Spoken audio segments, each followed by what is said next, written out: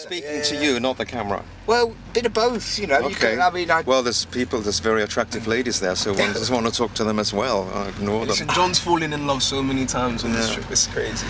uh, you're throwing me off me. But I know the film is, is charming. The film is Dough, uh, which the French wanted to call Duff because it's rough and tough. Well, they're keeping yeah, yeah, they're keeping yeah. the English title apparently in France. Really? Well, that will be challenging. the same people did My Beautiful Laundrette, and they could never translate it. It became very successful with the English title, Yeah. so they decided to keep the English title. Yeah.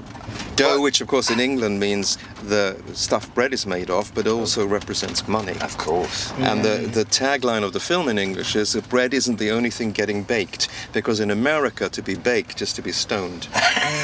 Yeah, yeah, yeah. The mix that you did between Judaism and Islam, it's Right. so topical, Right, and sort of right. message. Where did you get that inspiration? Well, the guy who wrote the script, who Yeah. was a disabled Orthodox Jewish young writer, Yeah. He want he it was, it was his idea, the film, and he was a first-time writer, like Jerome is a first-time actor in in movie terms, uh, and so. He was always aware of the similarity in uh, certain uh, visual rituals and religions between Jews and Muslims, Yeah. and he wanted to show those similarities uh, in in in this film, Yeah. and uh, not really focus so much on the prejudice.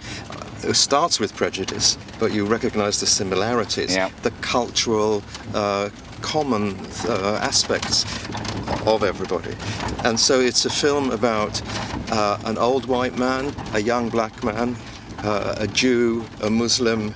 Uh, um, you know, it's, it's, it's the most unlikely friendship. It's a buddy movie, uh, um, and uh, overcoming prejudice. I mean, it's, they all prejudice to start off with, Yep. but the cannabis is a sort of uh, MacGuffin, as Hitchcock would have called it. It drives the story forward and it changes everybody. Everybody loved you. You were saying earlier that they all stood up and made, were, made yeah, you stand up at the front. honestly, Yeah, yeah. How- Isn't it a bit scary and intimidating when you've got somebody like Jonathan Pryce? Yeah, do you know what it was? But do you know he's the type of guy who makes you feel easy and at ease with everything you do. He's, he, he, he nurtured me. He there made sure that I was, um, you know, on point and could go through the scene as best as I could. So he was the best guy for it. Best guy for it I could ask for, man. Well, the roles will be tumbling in now, won't they? Well, I hope, uh, do you know what? I hope so. I hope so. But yeah, right now I'm at uni, so after that's all done, I hope to. I hope to be um, Gosh, acting all the you- time. You're yeah. still at uni? Yeah, still at uni, man. Last year. Ox- Oxford. Last year. Well, Yeah, of yeah, course. yeah. Well, you wouldn't go to Cambridge, would you? No. no. Really? yeah. What's, what are you studying? I'm got- doing English, English, and then drama as a minor. Great. Yeah. Well, I think you're following some esteemed footsteps. Uh, aren't yeah, yeah, yeah, yeah. Should be, should be good, man. Um, I go to Brookes, which is um, in Oxford. So Yeah. it's, yeah, it's amazing, amazing.